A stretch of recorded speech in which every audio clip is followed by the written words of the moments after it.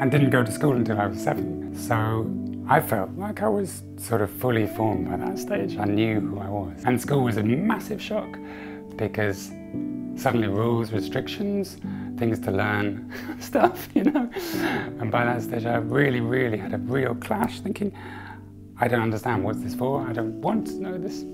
Everything I do and everything I work on really is to do with that. It's that clash with what's going on inside, a real sense of purpose and drive and connection and response to the world, and then trying to articulate and respond to something that doesn't seem to be make sense a lot of the time. And it's ongoing, it's an ongoing dialogue between inside and outside. I always felt, yeah, that, that I was making things. I never thought it's art because I wasn't thinking art. You know, I was just thinking alive and making and responding to things. There, there really wasn't that focus or that thought of this is art, which has actually helped me because even now I feel I don't have an idea of myself as an artist, as a painter, as somebody has a message. As I'm just responding, living, doing what I love doing, which is yeah, amazing.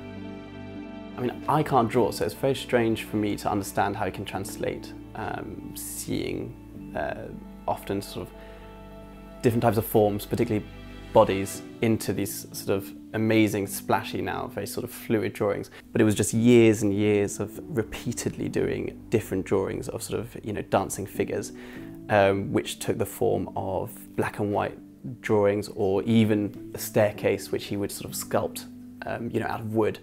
And I think it was just years and years of this, and, and as I'm sure he's mentioned, he started doing the two hands thing. So you'd sort of, you know, you'd be playing football or whatever, and you'd turn up, and you'd just see him for a reason that I didn't understand at the time. I'm not sure I totally got it now, but just practicing, not looking, just endlessly doing little circles like this, or kind of squiggly forms had to match, and then trying to get us to do it. But I think we were more interested in just getting out to play football again.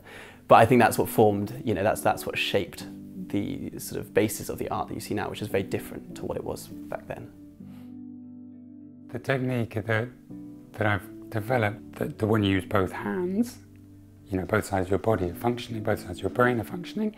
And if you do something that's really difficult, so you're painting two different things at once with both hands, you're essentially concentrating on four different things. There's no guidelines. You can't think. You can't work it out. You can't be in the idea. You have to respond. You have to be with what you are. So it's a balance of, you know, being, you know, observational, but also just, just passion and feeling.